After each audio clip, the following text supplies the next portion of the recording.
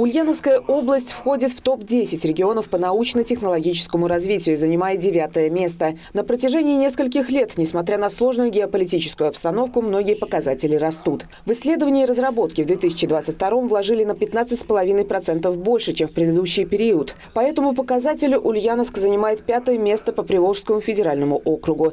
Постепенно увеличивается численность научных сотрудников. В прошлом году количество специалистов составило почти 5 тысяч человек. Изобретателей в городе на семи ветрах тоже предостаточно. Регион вошел в топ-5 рейтинга и занял четвертую строчку.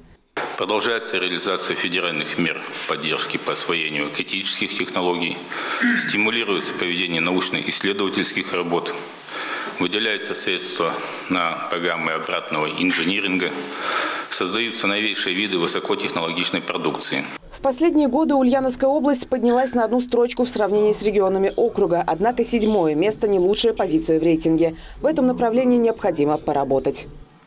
В текущих условиях э, вызовов, которые существуют перед нашей страной, не только в военной области, но и в замене стандартных э, промышленных каких-то объектов и э, технологий, наши ученые, наши предприятия достойно занимают эти позиции и закрывают эти потребности. Губернатор Ульяновской области наградил лучших работников отрасли. Почетной грамоты удостоилась директор компании «Артпрофи» Ольга Алашеева. А благодарственные письма вручили инженеру Владимиру Чугунову и руководителю Центра молодежного инновационного творчества «Прогресс» Сергею Лютуновскому. Виктория Черкова, Герман Баранов. Улправда ТВ.